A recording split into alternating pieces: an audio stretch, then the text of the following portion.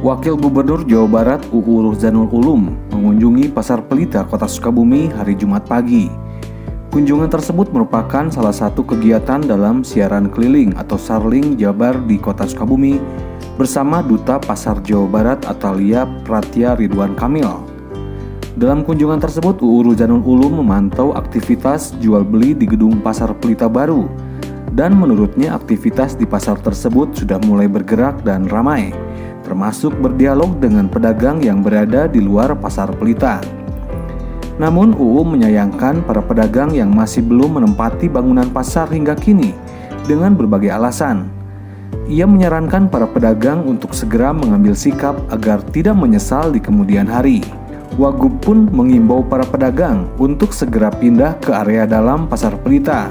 Ia menambahkan bahwa beberapa keluhan yang disampaikan para pedagang sangat klasik, Hal itu terkait relokasi tempat jualan mereka ke tempat yang saat ini sudah disiapkan pemerintah. Saya berharap seluruh para pedagang segera pindah ke sini. Jangan nanti nggak kebagian di situ. Ditegaskan untuk dikosongkan ke sini sudah penuh. Akhirnya cek orang tasik nama ngegel curu nah daripada ngegel curu mendingan dia akhirnya bersikap setiap orang itu harus berani bersikap dan berani membuat sebuah keputusan kalau kita seorang pedagang tidak membuat sebuah keputusan yang cepat, nanti ciliran kurun BHK. Seperti para politisi kan, kalau tidak cepat mengambil sikap, sudah peluangnya diambil orang. Makanya, karena itu saya minta kepada para pedagang untuk ikut apa yang diharapkan oleh pemerintah. Pemerintah tidak akan buat sebuah keputusan kecuali itu kemaslahatan, kecuali itu kemanfaatan. Tidak ada sedikit pun dalam hati seorang pemimpin di Jawa Barat ini membuat keputusan untuk kemasa kemadaratan masyarakat. Tidak ada, tapi untuk kemaslahatan itu saya kira seperti itu. Saya memuji kepada pemerintah di sini sudah mampu membangun ini, tinggal mungkin beberapa poin lagi para pedagang pindah ke sini. Sementara itu, manajer Pasar Pelita Sukabumi Heru Khairudin mengatakan, meski hingga kini sudah banyak pedagang yang mulai masuk ke Pasar Pelita, terutama di basement khususnya pedagang jenis basahan termasuk daging dan ikan. Namun beberapa lantai termasuk lantai dasar jenis keringan belum maksimal oleh pedagang yang masuk.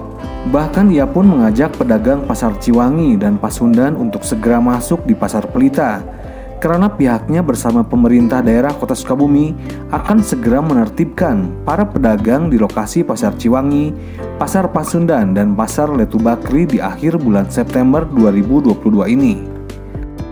Tadi kan Pak Wakil Gubernur juga ke sana meninjau langsung para pedagang di Pasar Ciwangi. Hmm. Mereka keluhannya adalah mengkhawatirkan khawatir nggak laku gitu kalau hmm. jualan di dalam karena rekan-rekan mereka sudah masuk ke dalam ada beberapa pedagang Ciwangi sudah masuk ke dalam memang tidak signifikan penjualannya kenapa karena hmm. memang jadi pembeli itu jadi nggak satu titik di sini hmm. ada yang ke sana Ciwangi ada juga yang di sini hmm. jadi diharapkan oleh Pak uh, Wakil Gubernur tadi Pak Ugu agar para pedagang di luar ayo deh masuk-masuk ke dalam hmm. biar ayo bersama-sama cari rezeki di dalam jadi nanti pengunjung tuh semua ke sini satu titik di pasar Pelita seperti itu. Hmm. Ya memang ada target sendiri Pak untuk para pedagang yang di luar sampai kapan mereka bisa? Ya rencana itu pedagang yang di luar ya di Ciwangi, Pasundan, Ciwangi itu akan ditertibkan di akhir September ini. Selaku pihak pengembang Pasar Pelita Kota Sukabumi, Heru mengatakan bahwa pihaknya juga sudah berusaha melakukan komunikasi dan penawaran terhadap beberapa komunitas pedagang yang saat ini masih tercecer di beberapa titik.